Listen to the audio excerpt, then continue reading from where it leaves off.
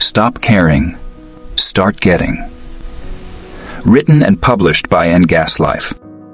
We all care deeply.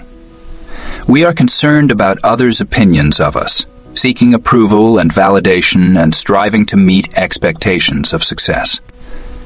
This ongoing concern is limiting our progress. It causes anxiety, a fear of taking risks, and a strong desire for validation. We often get caught up in things we can't control, which leads to feeling paralyzed by fear of rejection and failure. Stop caring. Start Getting teaches you a different way to achieve your goals by caring less. This book offers philosophical insights and practical tools to assist you in detaching emotionally, reducing overthinking, and cultivating an abundance mentality for taking decisive action.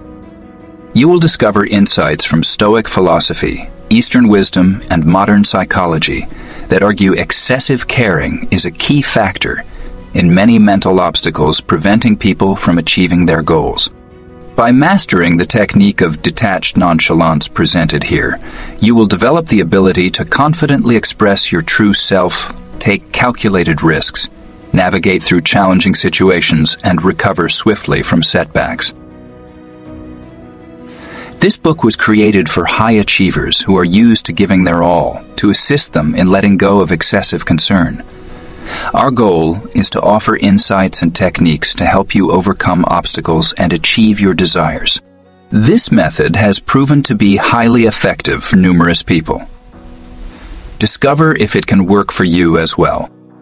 Lesson 1 The problem with caring too much. We all know people who appear to be overly concerned about their reputation, about being popular, about satisfying others. Although caring is a natural human quality, excessive caring can lead to issues and self-sabotage.